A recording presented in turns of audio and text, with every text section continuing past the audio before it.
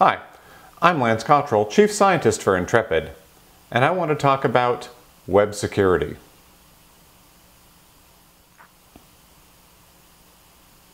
So, once again, we're talking about the problems with browser security.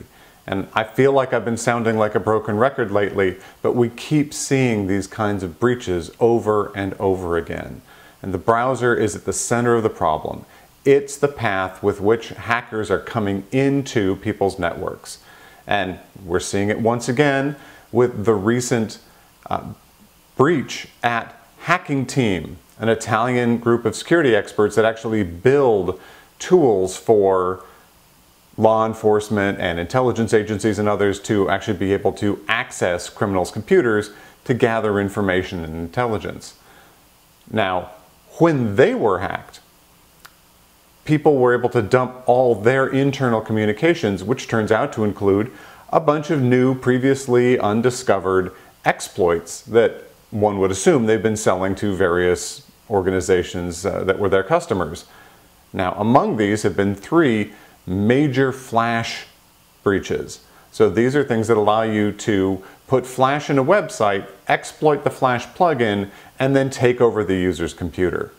And Flash, of course, is everyone's favorite whipping boy for this. There have been so many attacks against Flash over the years. Uh, it's just an endless font of vulnerabilities. But of course, Flash isn't alone. We know that all the browsers have hundreds of major patches per year on the browser code itself.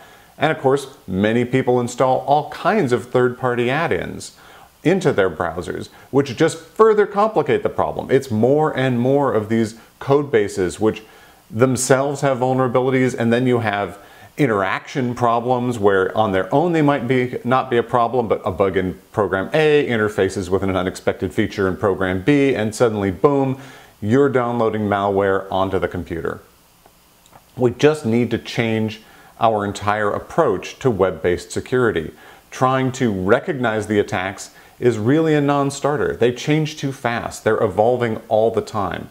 People are developing new kinds of exploits, re-encrypting them, they're polymorphic. Anything that's signature-based is really already behind the curve. And by the time you've detected it, it's arrived. And behavioral is worse. By the time you detect it, it's already attacking you. So I think we need to be moving towards a much more proactive, preventative kind of approach, which says, yes, there will be vulnerabilities, yes, there will be exploits, and my system will still be safe, even in the face of known attacks that will succeed against me. And that's really where we've been coming from at Ntrepid. With the tools we've built over the years and now with our Passages Secure browser, we're coming from that point that says you're going to get exploited. These things are going to work against your browser. How do we prevent them getting in? And we're very happy to see once again, we're strong against this. Now the Flash exploit works against all versions of Flash, so Mac, Windows, Linux. Our virtual machine is Linux. We have yet to see a single proof of concept or wild exploit against these Flash vulnerabilities that works against Linux and simply because it's not the most common operating system. You're going to go after Windows. You're going to go after, if not Windows, maybe Mac, because there's so many users. Linux as a desktop, really never attacked. But we're not going to get cocky about that. Sure, almost all attacks are going to bounce off us because we're simply the wrong operating system. But even if they do work against us, we're going to be locking them inside our virtual machine that we burn down at the end of every day. And I think all security tools need to be moving in this kind of direction where you're robust and able to recover and move on when you're infected and when you don't even know it. You've never detected it. These guys have come in low, slow, they've been subtle, they're using a zero day exploit that you don't have rules for. You still have to be safe. It's not good enough to be 80%. You need to make sure that all of these things are going to bounce off the network.